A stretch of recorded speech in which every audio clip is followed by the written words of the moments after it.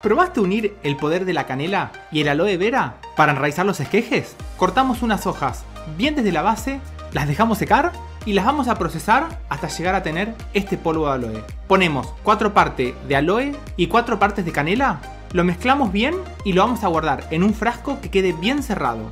Para usarlo, mojamos la base de los esquejes con agua y lo pasamos por este preparado para que quede bien pegado. Perforamos y vamos a poner cada uno de estos esquejes. Regamos y solamente nos queda esperar que empiecen a enraizar.